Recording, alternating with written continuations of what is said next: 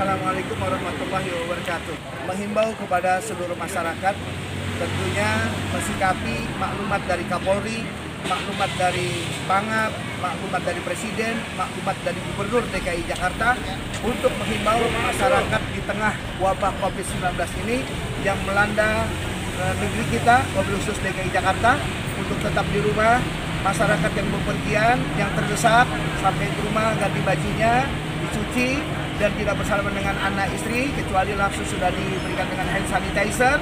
Pastikan kita bersih, tetap pakai masker untuk sehat walafiat.